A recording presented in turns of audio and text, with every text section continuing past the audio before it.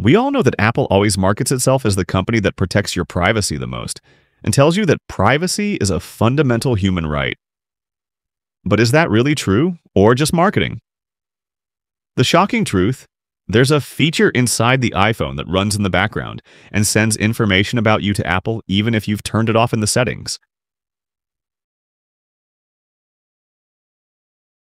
Feature name, Device Analytics.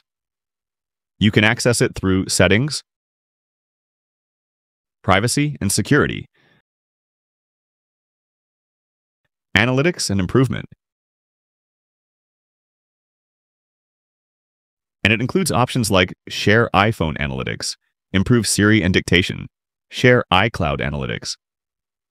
Many people turn these off thinking they've closed the door to spying, but the reality is completely different.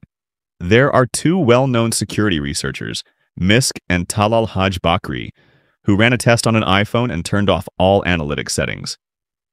Despite that, the device was still sending detailed data to Apple's servers. This data included the apps you opened, the time you use them, the device model, the type of internet connection, and a unique identifier for your account called SID, which they can use to link everything back to your personal account.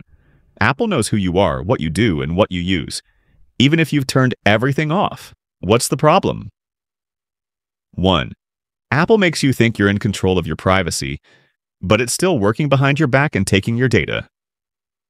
2. The data being sent is not anonymous, as they claim. It's linked to your real account. 3. This is a privacy violation according to the European GDPR law, which prohibits collecting data without explicit consent. What can you do to protect yourself?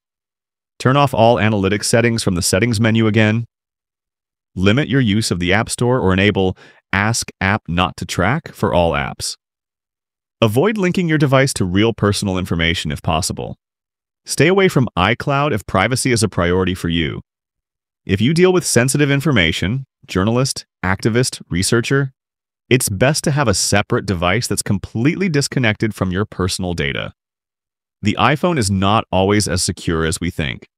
Apple doesn't tell you the whole truth. This is not a conspiracy theory. It's a confirmed and documented report with evidence from professional researchers.